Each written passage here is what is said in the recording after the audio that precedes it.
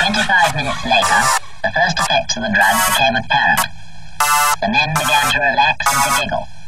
But this man was more seriously, seriously, seriously, seriously to be removed from the exercise.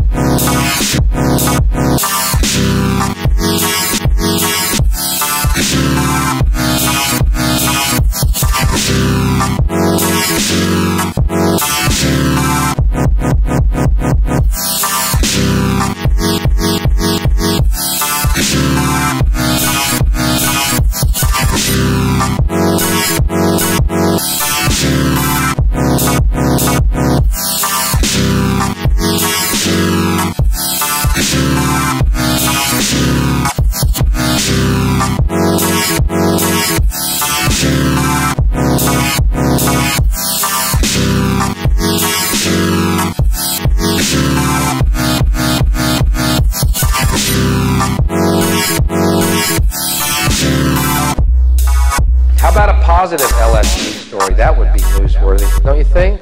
Anybody think that just once to hear a positive LSD story? Today, a young man on acid realized that all matter is merely energy condensed to a slow vibration. That we are all one consciousness experiencing itself subjectively. There is no such thing as death. Life is only a dream, and we are the imagination of ourselves.